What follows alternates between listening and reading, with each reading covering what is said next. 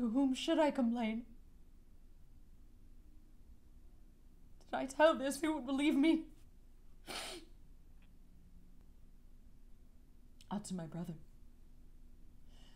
For though he hath fallen by prompture of the blood, yet hath he in him such a mind of honor that had he twenty heads to tend it down on twenty bloody blocks, he'd yield them up before his sister should her body stoop to such a abhorred pollution.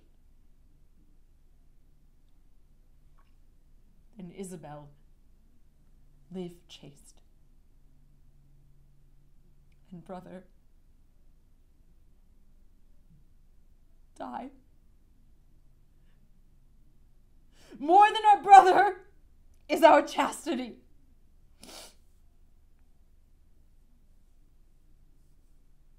I'll tell him yet of Angelo's request and fit his mind to death for his soul's rest.